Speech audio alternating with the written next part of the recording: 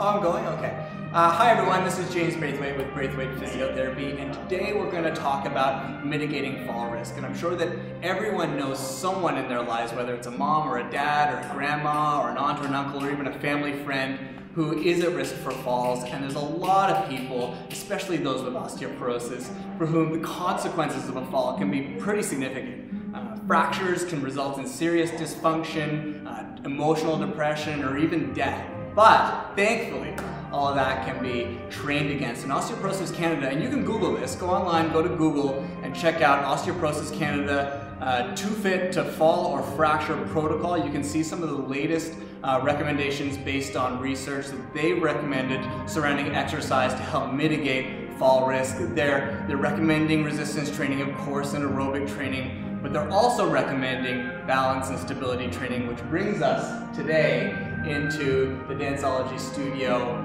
uh, which is a ballroom studio in Glen, actually, too, right, Marla? In, uh, in Liberty Village in Toronto. And I'm very fortunate and very pleased to have with me today the wonderful and hugely talented Marla Silva, who's going to help us with some, with some ballroom dancing training, because ballroom dancing can be a great way to train that balance and stability.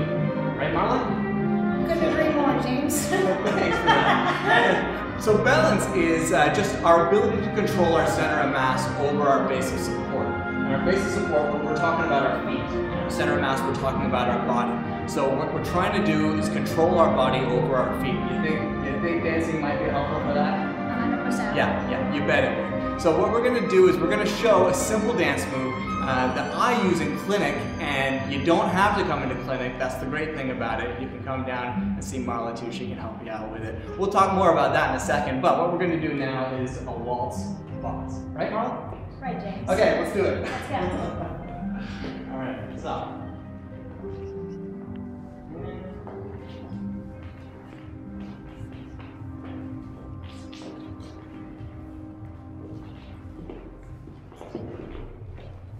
Wonderful.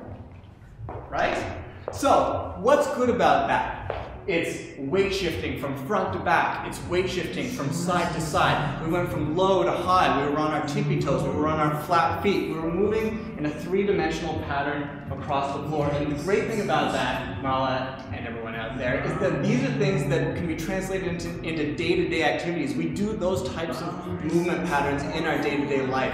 That's what makes this kind of training really transferable for most people. And the best part is, it's a lot of fun too, right? You've got music, you can dress up if you want, you can dress down if you want, you've got fun people around you. I highly recommend it. If you're not coming into clinic to do it, you should definitely come in and check out what they've got to offer at a place like Danceology. How can people find you, Carla? Go online to www.danceology.org. Um, we're in Liberty Village, or you can call us at 416-588-0111. Yeah. Great training for, for people who need mitigation against fall risk, or if you just want to have a little bit of fun and train your athleticism as well. It's a good time. I do it pretty much constantly. So until next time, I'm James Braithwaite with Braithwaite Physiotherapy.